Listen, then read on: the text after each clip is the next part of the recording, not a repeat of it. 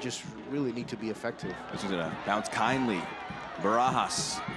He's got two in support in the box. Fidel Barajas onto his preferred left. Again, cuts it back. Deflection and a an opener.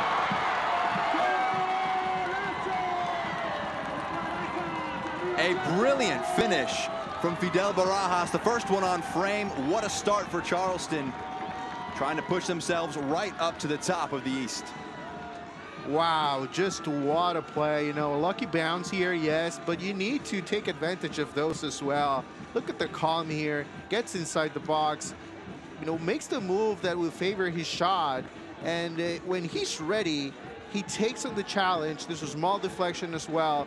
No opportunity for the goalkeeper. To the back of the net it goes. Solid start for the home side. Not as quick a start from their match against Loudoun. Tristan Trager scored within 30 seconds then, but they'll take a goal within the first five minutes. That's goal number three from their wonder kid.